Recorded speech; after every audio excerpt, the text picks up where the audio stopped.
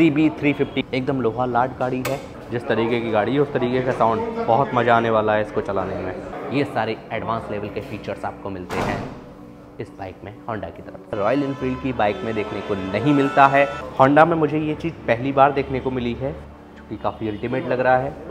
ये है Honda C B three fifty जिसको कंपनी ने अभी रिसेंटली लॉन्च किया है। इसमें काफ़ी सारे ऐसे फीचर्स मिलते हैं, जो कि रॉयल इनफील्ड की किसी भी बाइक में देखने को नहीं मिलते हैं। आज की इस वीडियो में आपको इस बाइक के बारे में सब कुछ डिटेल में बताने वाला हूँ। तो ये वीडियो जो है आपके लिए काफ़ी ज़्यादा स्पेशल है। बिना स्किप किए पूरा ज़रूर देखिएगा। नमस्कार दोस्तों, मैं हर स्वागत करता हूँ आपका technical S S YouTube channel पर। सबसे पहले बात कर लेते हैं इस बाइक के कलर की। इस बाइक में आपको मल्टीपल कलर्स मिल जाते हैं। आइए दिखाता हूँ। सी बी थ्री फिफ्टी में यहाँ पर ये ब्लैक कलर खड़ा हुआ है, जो कि काफ़ी अल्टीमेट लग रहा है। एक ग्रीन कलर यहाँ पर ये खड़ा हुआ है सी बी थ्री फिफ्टी एक यहाँ पर ग्रे कलर खड़ा हुआ है। आइए बात कर लेते हैं इसके डायमेंशंस की, यानी कि लंबाई, चौड़ाई, ऊंचाई और वज़न की। इस बाइक का कर वेट 187 केजी है। इसमें ग्राउंड क्लियरेंस मिलता है 165 mm का और इसकी सीट हाइट है 800 mm की। लेंथ है इसकी 2207 mm की। विड्थ है 788 mm की। इसकी हाइट है 1110 mm की। व्हील बेस इसमें मिलता है 1441 mm का। अब इसको 360 डिग्री कवर कर लेते हैं। ये है इस बाइक की प्रॉपर राइट प्रोफ़ाइल ये है इसकी लेफ़्ट प्रोफ़ाइल ये है इसकी प्रॉपर फ्रंट प्रोफ़ाइल आइए पास से दिखाता हूँ। ये देखिए हेड हैंडल ओ का जो पैटर्न है कुछ इस तरीके का है। हेडलाइट की अगर बात की जाए राउंड शेप में दी गई है। स्मार्टली क्रोम से इसको कवर किया गया है और हेडलाइट इसमें स्प्लिट एलईडी हेडलैम्प के साथ में मिलती है। ये देखिए इग्निशन के ऑन होते ही इसकी हेडलाइट ऑटोमेटिकली ऑन हो जाती है। एंड साइड टर्न इंडिकेटर्स ये देखिएगा, ये भी ऑन हो जाते हैं। ये भी एलईडी में दिए गए हैं और थोड़े बहुत फ्लेक्सिबल हैं। होंडा में मुझे ये चीज़ पहली बार देखने को मिली है, ये देखो।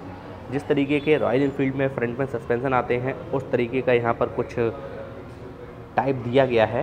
फ्रंट में टेलीस्कोपिक सस्पेंसन है, ये देखिए। फ्रंट मडगार्ड बॉडी कलर में है एंड ये मेटल में दिया गया है।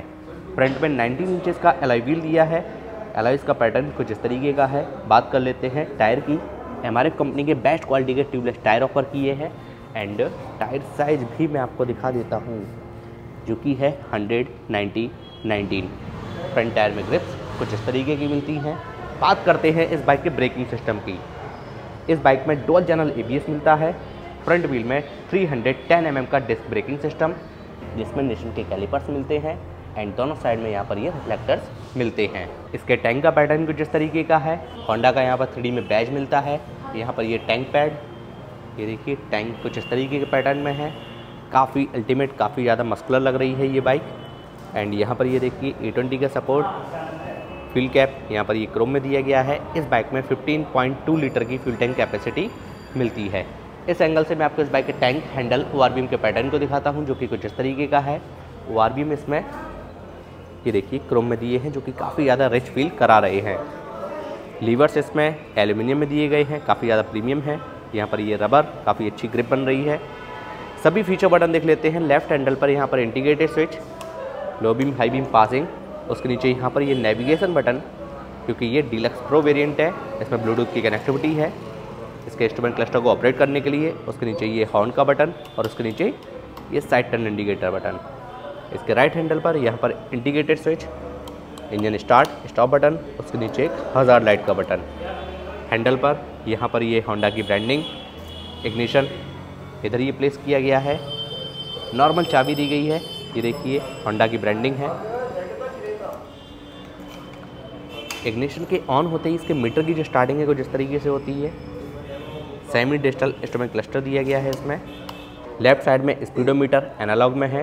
सेंटर में एक डिस्प्ले दी गई है जिसमें काफ़ी सारी इन्फॉर्मेशन मिल जाती हैं और यहाँ से इसको ऑपरेट कर सकते हैं। ये देखिए बैटरी वोल्टेज देख सकते हैं fuel gauge range trip A trip B ये देखिए total odometer gear shift indicator time देख सकते हैं। यहाँ से ये एग्जिट और भी काफ़ी सारी इन्फॉर्मेशन इसमें मिल जाती हैं। एंड इस बाइक में ट्रैक्शन कंट्रोल भी मिलता है, जो कि काफ़ी अच्छी बात है। रॉयल इनफील्ड की बाइक में देखने को नहीं मिलता है। ये इसके साथ में एडवांटेज है। यहाँ पर ये देखिए, check engine indicator, neutral indicator ABS indicator, ये हाई बीम इंडिकेटर और साइड टर्न इंडिकेटर इधर ये दिए गए हैं। और इसमें ब्लूटूथ की कनेक्टिविटी मिलती है। और यहाँ पर भी दो बटन दिए गए हैं। ये देखिए, इसकी सहायता से इसको ऑपरेट किया जा सकता है। यहाँ से भी ईज़िली और काफ़ी ज़्यादा ये स्मूथ हैं। काफ़ी अच्छी तरीके से काम भी कर रहे हैं। यहाँ पर एक यू एस सी पोर्ट दिया गया है। आप अपने स्मार्टफ़ोन को यहाँ से चार्ज कर सकते हो। काफ़ी अच्छा फीचर है ये इसमें। इस बाइक में डोल फॉन दिए गए हैं। एंड यहाँ पर ये देखिए क्रोम से कवरिंग दी गई है। इसकी वजह से काफ़ी ज़्यादा रिच ये लुक प्रोवाइड करा रही है इसको। आइए वहाँ की बात कर लेते हैं जहाँ से इस बाइक की परफॉर्मेंस निकल कर आती है। जी हाँ आप बिल्कुल ठीक समझिए इस बाइक के इंजन की। इस बाइक में कंपनी ने 348.6 सीसी का single cylinder air cooled B S six F I four stroke two valve Honda company का क्रूजर सेगमेंट में बेस्ट क्वालिटी का इंजन लगाकर दिया है। इसके इंजन की मैक्सिमम पावर है 20.7 bhp की 5500 आरपीएम पर और इसका मैक्सिमम टॉर्क है 29.4 न्यूटन मीटर का 3000 आरपीएम पर। इसके इंजन से काफ़ी अच्छी परफॉर्मेंस मिल जाती है पावर भी अच्छा है टॉर्क भी अच्छा है और इसी के साथ साथ ये बाइक माइलेज भी काफ़ी अच्छा देती है।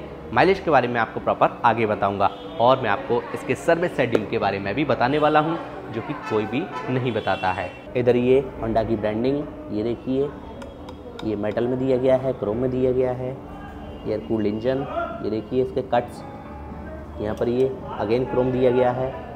इस बाइक में पाँच गियर मिलते हैं। पैटर्न पहला आगे, बाकी के सभी पीछे। Rider foot pad auto unfold के साथ में है। बिल्ड क्वालिटी इसकी काफ़ी अच्छी है। सेफ्टी पॉइंट ऑफ़ व्यू से इस बाइक में साइड स्टैंड इंजन का टॉप फीचर दिया गया है। सेंट्रल स्टैंड भी इसमें दिया गया है। एकदम लोहा लाट गाड़ी है। काफ़ी ज़्यादा मज़बूत है ये देखिए। Pillion foot pad C B three fifty का इधर बैज लगा हुआ है। चाबी लगाने का सेक्शन जिसकी सहायता से आप इसको ओपन कर सकते हो। इस बाइक में स्प्लिट सीट ऑफ़र की गई है। इस वाले कलर के साथ में ये कुछ इस तरीके कलर में है। एंड सीट जो है राइडर के लिए स्पेशली काफ़ी ज़्यादा कंफर्टेबल है पिलियन के लिए भी कंफर्टेबल है। ग्रेवरिल का पैटर्न कुछ इस तरीके का है। यहाँ पर ये हेलमेट लॉक लगा हुआ है, काफ़ी अच्छी बात है। बात करते हैं रियर सस्पेंशन की। रियर में कंपनी ने multi step adjustable hydraulic suspension दिया है नेकेड चैन सेट ये देखिए, यहाँ पर ये एडिशनल प्रोटेक्शन फाइबर की है। यहाँ पर ये लेडी फुट पैड इधर ये देखिए, साड़ी गार्ड लगा हुआ है। बात कर लेते हैं रियर व्हील की रियर में कंपनी ने 18 इंचेस का अलॉय व्हील दिया है हमारे कंपनी का। बेस्ट क्वालिटी का tubeless tyre and tyre size भी मैं आपको दिखा देता हूँ। ये रहा 130, 70, 18 रियर टायर में ग्रिप कुछ इस तरीके की मिलती है। ये है इसकी rear profile tail light LED में साइड टर्न इंडिकेटर एलईडी में। और ये भी थोड़े बहुत फ्लेक्सिबल हैं। नंबर प्लेट लाइट एलईडी में। यहाँ पर ये रिफ्लेक्टर यहाँ पर ये नंबर प्लेट लगाने का सेक्शन और ये भी मेटल का है। सीट पर यहाँ पर ये देखिए होंडा की ब्रांडिंग बात करते हैं इसके रियर ब्रेकिंग सिस्टम की स्टार्टिंग में ही, जैसे कि मैंने आपको बताया, इसमें डोल चैनल एबीएस दिया गया है। रियर व्हील में 240 एम mm का डिस्क ब्रेकिंग सिस्टम जिसमें निशन के कैलिपर्स दिए गए हैं। फ्रंट एंड रियर दोनों में ही निशन के कैलिपर्स मिलते हैं। ये देखो, इस बाइक के एग्जॉस्ट का पैटर्न कुछ इस तरीके का है। ये देखिए साइलेंसर काफ़ी गजब लग रहा है। इधर ये single muffler plain foot pad aluminium में टिक टिक की आवाज़, ये देखो। काफ़ी ज़्यादा सेटिस्फाइंग साउंड दे रही है। एडिशनल प्रोटेक्शन इधर सी बी थ्री फिफ्टी इधर लिखा हुआ है। इस बाइक में कोई भी किक स्टार्ट का फीचर नहीं मिलता है। यहाँ पर ये additional protection rear brake lever rider foot pad rear brake oil engine कुछ इस तरीके के पैटर्न में है। बाइक को स्टार्ट कर लेते हैं इंजन साउंड सुन लेते हैं एग्जॉस्ट नोट सुनते हैं। सिंगल हेड पे ये बाइक स्टार्ट हो गई। आइडियल कंडीशन पर इंजन साउंड सुनिए।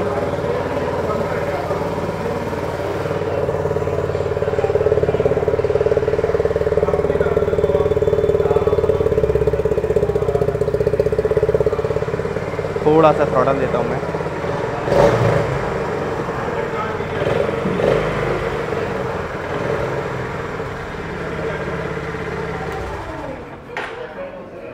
काफ़ी हैवी साउंड है भाई इसका।